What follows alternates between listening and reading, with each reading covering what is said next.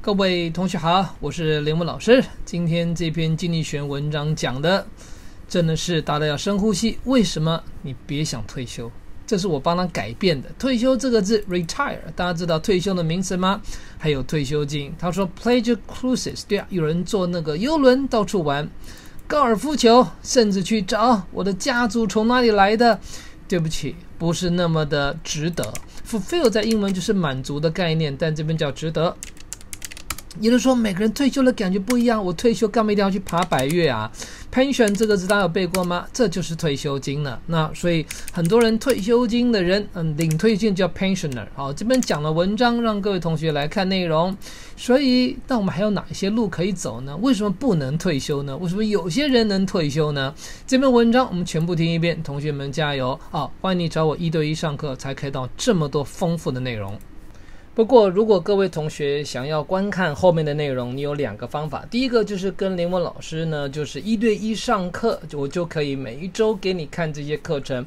第二种方法呢，就是直接买《经济学人》杂志的课程，一年两百五十篇文章的讲解。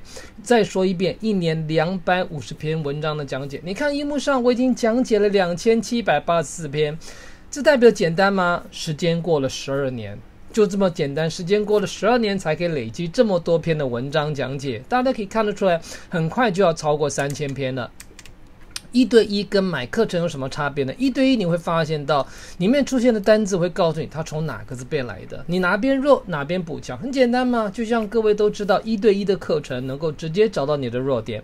譬如说，如果你不知道 recipient 从哪一个字变来的，我就告诉你说，哦，它从 receive 这个单词变来，你就可以马上发现到，哦，这个就是你可以了解你做笔记的地方。strike 我最喜欢问学生，你觉得它的过去式是谁？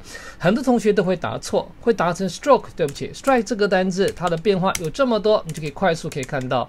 所以林文老师讲解的课程上面有 Q R 码，欢迎可以直接找我上课，就可以看到这么多的内容。我再说一遍，一对一可以看到很多单字的讲解。如果是导读课程，每年费用三千六百块钱。重点是就是一个听一个故事，但是两百五十个故事也够多了。等你找我上课喽，拜拜。